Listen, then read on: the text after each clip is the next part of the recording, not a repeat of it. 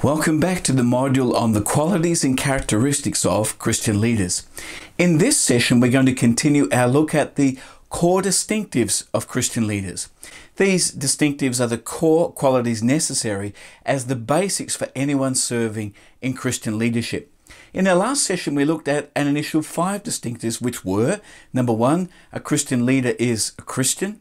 A Christian leader, number two, is a follower of Jesus. Number three, a Christian leader loves God with all their heart, soul, mind, and strength. Number four, a Christian leader pursues intimacy with God. And number five, a Christian leader practices the daily disciplines of prayer, engagement with Scripture, and worship. Now we'll look at a final five.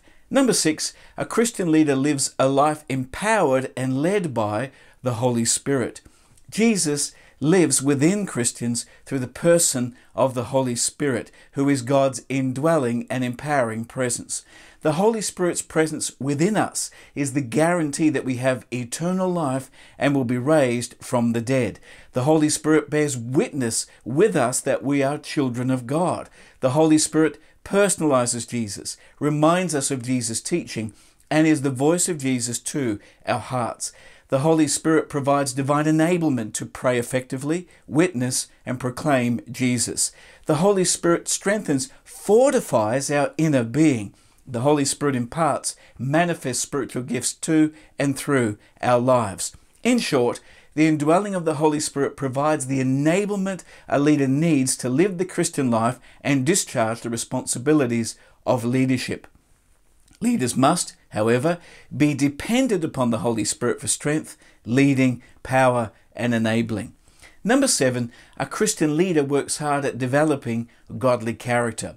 Aubrey Malphurs, in his book Being Leaders, defines character as the sum total of a person's distinct qualities, both good and bad, that reflects who he or she is, being, and affect what he or she does, behavior. He goes on to write that Godly character is the essential ingredient that qualifies Christians to lead others. Now, while Scripture has much to say about the Christian's character in general, it has much to say about a leader's character in particular, such as in 1 Timothy 3 and Titus 1. The point I want to make is that leaders have to work hard at developing godly character. And the point is captured by Jesus' words in the Sermon on the Mount, where he taught, Blessed are those who hunger and thirst for righteousness, for they will be filled. What is righteousness in this context? It is a righteousness of character and conduct which pleases God. It is not, not an outward conformity to rules like the Pharisees, but an inward righteousness of heart, mind, and motive. In this sense, righteousness is, in other words, godly, Christ like character, which is described here in the Beatitudes. And for this, said Jesus, we must hunger and thirst. Jesus parallels our need for righteousness with our most basic desires, those for food and water. If we don't eat, we'll not only get hungry, we will die. If we don't drink, we will not only get thirsty, we will die of thirst. If we don't breathe, we will not only pass out, we will die of hypoxia.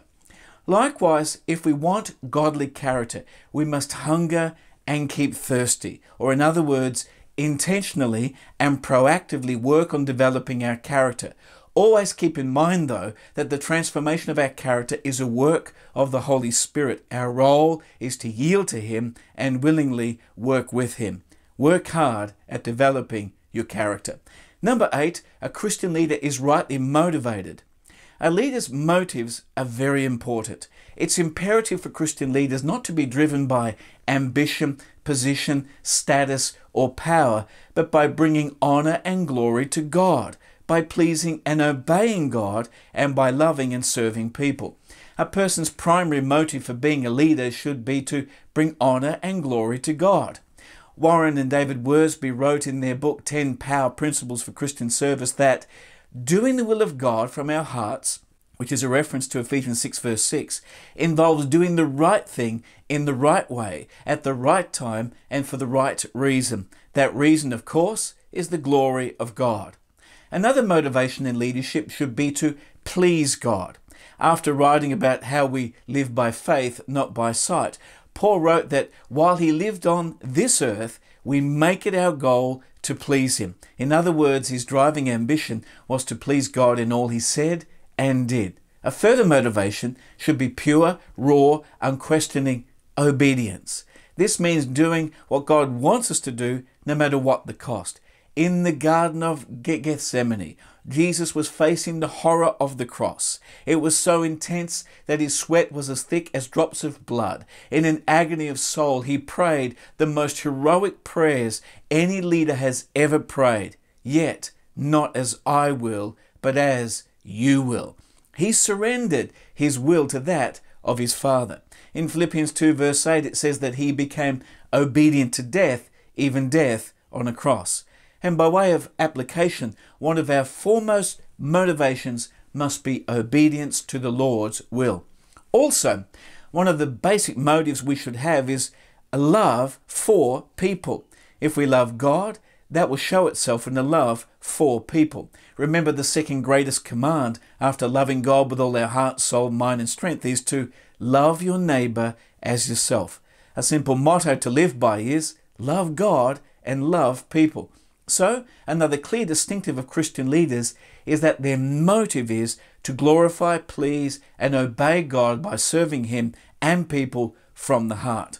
Number nine, a willingness to serve. A distinctive of Christian leaders is their desire and passion to use their leadership position to serve people. The Apostle Peter urged leaders to serve as overseers, not because you must, but because you are willing, as God wants you to be. Not greedy for money, but eager to serve. Eager to serve encapsulates the point I am trying to make. Motivated by love for God and people, we'll do what the Lord puts in our heart to do to serve people. We'll use whatever gifts the Lord has given us to minister to people. We'll invest the time that we have to disciple people. We will care for people in the way Jesus wants them cared for, and will willingly accept a role in line with our gifting by which we can serve. Remember 1 Peter 4 verses 10 and 11. Each one should use whatever gift he has received to serve others, faithfully administering God's grace in its various forms. If anyone speaks, he should do so as one speaking the very words of God. If anyone serves, he should do it with the strength God provides. We may feel unqualified, inexperienced, or ill equipped, but if we have a passion to make a difference in people's lives, then be willing to serve. This is what the Lord is looking for a willing heart to serve. Our attitude is infinitely more important than our aptitude. The skills of leadership can be acquired, but the heart of Christian leadership is really what matters to the Lord. And at its core, our heart should be to serve. Let's serve wholeheartedly. And number 10, last one, a call to a gift of or desire for leadership. A tenth and final core distinctive of Christian leaders is the call, gift, or desire to lead. For some, leadership in the Christian church is part of their calling. Paul affirmed that, the, that his calling was from God when he wrote in the opening verse of 1 Timothy, Paul, an apostle of Christ Jesus, by the command of God our Saviour and of Christ Jesus our hope. Also he added in 2 Timothy 1.11, And of this gospel I was appointed a herald and an apostle and a teacher. In the book of Ephesians, Paul emphasized that the fivefold ministry gifts of apostle, prophet, pastor, teacher, and evangelist are all gifts. For others, they have received a gift of leadership. In the list of gifts located in Romans 12, Paul wrote of the gift of leadership when writing, If it is leadership, let him govern diligently. As with all gifts, this is a divine capacity and enabling. Being a gift of leadership, it is a divine grace and enablement to bring leadership and direction to people.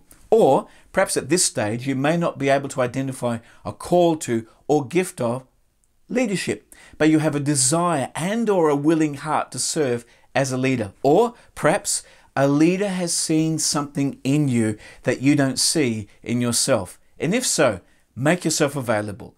Be trained. Serve wherever you can. Be faithful. Acquire skills and seek God for how and where He wants to use you. Let's wrap up this session on the core distinctives with a quick, quick summary of the 10. Number one, a Christian leader is a Christian. Number two, a Christian leader is a follower of Jesus. Number three, a Christian leader loves God with all their heart, soul, mind, and strength. Number four, a Christian leader pursues intimacy with God. Number five, a Christian leader practices the daily disciplines of prayer, engagement with Scripture, and worship. Number six, a Christian leader lives a life empowered and led by the Spirit. Number seven, a Christian leader works hard at developing godly character. Number eight, a Christian leader is rightly motivated. Number nine, a Christian leader has a willingness to serve. And number 10, they have a call to, gift of, or desire for leadership. And in the next session, we'll continue the module by looking at some character qualities of Christian leaders. See you then. God bless.